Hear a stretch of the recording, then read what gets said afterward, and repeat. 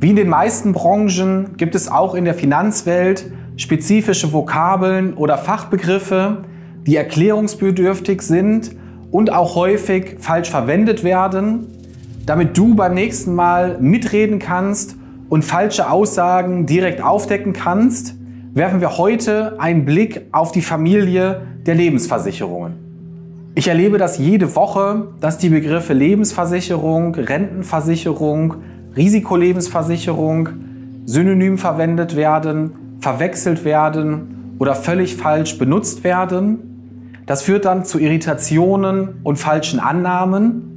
Nach diesem Video kannst du die Begriffe genau unterscheiden. Also ganz viel Spaß!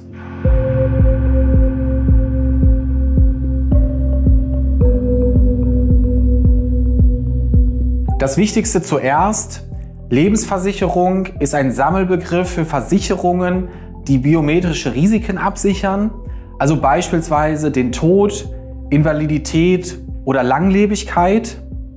Häufig höre ich im Alltag die Aussage, eine Lebensversicherung lohne sich doch gar nicht mehr.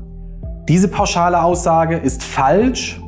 Jetzt kommt es nämlich genau darauf an, über welches genaue Produkt der Lebensversicherung wir sprechen. Gemeint ist hier häufig die kapitalbildende Lebensversicherung, also eine Mischung aus Todesfallabsicherung und Ansparen. Die Funktionsweise ist wie folgt. Du hast einen Vertrag, in dem du beispielsweise festgelegt hast, dass Erben im Fall deines Todes 50.000 Euro gezahlt bekommen. Hierfür zahlst du einen entsprechenden Beitrag. Nehmen wir einmal an 100 Euro. Dieser Beitrag entfällt aber nicht ausschließlich auf die Absicherung des Risikos. In diesem Beispiel wären das vielleicht so 15 bis 20 Euro. Die Differenz wird zusätzlich noch in einen Spartopf gepackt, den du nach einer festgelegten Laufzeit, diese bestimmst du zu Beginn des Vertrages, ausgezahlt bekommst. Das bedeutet, es wird in jedem Fall eine Auszahlung erfolgen, entweder wenn du verstirbst oder aber zum Ende des Vertrages das entsprechende Kapital. Das Problem ist nur, dass die Verzinsung bei einem solchen Vertrag unglaublich schlecht ist und sich nicht lohnt. Eine kapitalbildende Lebensversicherung solltest du also nicht abschließen. Das lohnt sich nicht. Einverstanden. Eine Rentenversicherung hingegen gehört auch zur Gruppe der Lebensversicherungen, ist aber etwas komplett anderes. Ein moderner Rentenvertrag ist eine Kapitalanlage, der dein Geld in Investmentfonds investiert und am Ende sicherstellt, dass du aus diesem Vertrag eine lebenslange monatliche Rente bekommst, selbst wenn dein eigenes Geld bereits aufgebraucht ist.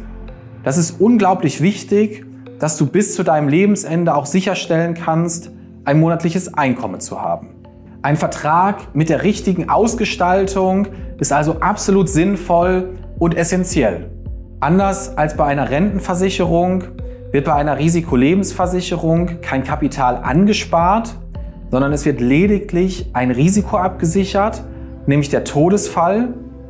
Bei der Vertragsgestaltung bestimmst du eine Versicherungssumme, beispielsweise 150.000 Euro, und eine Laufzeit, beispielsweise das 60. Lebensjahr.